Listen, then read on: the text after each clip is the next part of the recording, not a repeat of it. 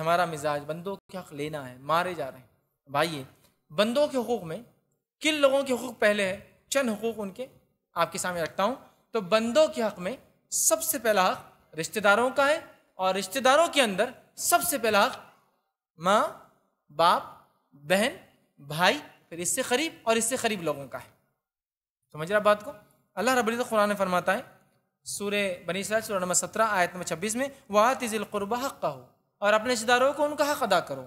دوسری جگہ، سورہ نحل، سورہ نمبر سولہ، آیت نمبر نود میں اللہ فرماتا ہے کہتا ہے، ان اللہ یا مرب العدل والحسانی و ایتاء ذی القربہ کہ اللہ تعالیٰ تمہیں حکم دیتا ہے کس چیز کا؟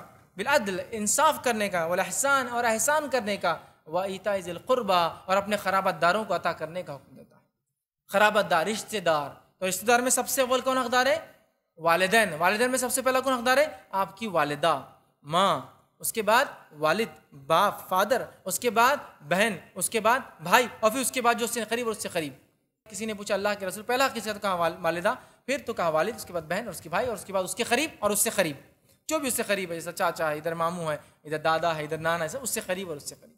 سب کے حق دینا یاد رکھیے۔ تو ہمیں سب سے پہلے اپنے رشتہ داروں کے حق دینا یاد رکھیے اور اس میں میں نے ترتیب بتا دی۔